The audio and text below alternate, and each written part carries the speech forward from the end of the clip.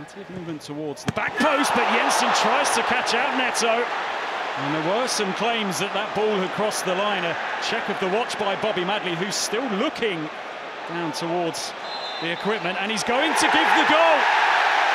Mathias Jensen catching out Neto. And again, Brentford come up with something special from a set piece.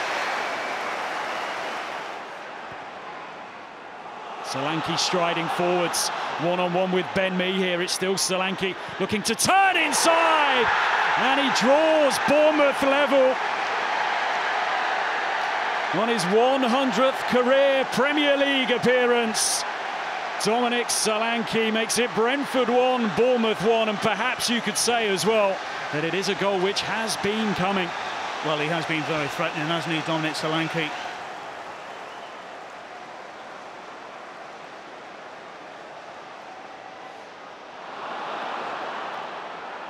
Christie. And now the charge by Tavernier, but he won't get there first. The recovery pace of Rico Henry so good. The back pass, though, woefully short. A chance to take the lead here for Bournemouth. And it is a chance that is taken by David Brooks. It is a gift owing to the mistake from Rico Henry, who shakes his head. And our Bournemouth on course for a first Premier League victory under Andoni Iraola.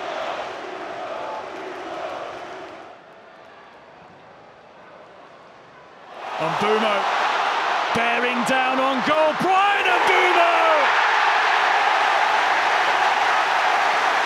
Brentford back level.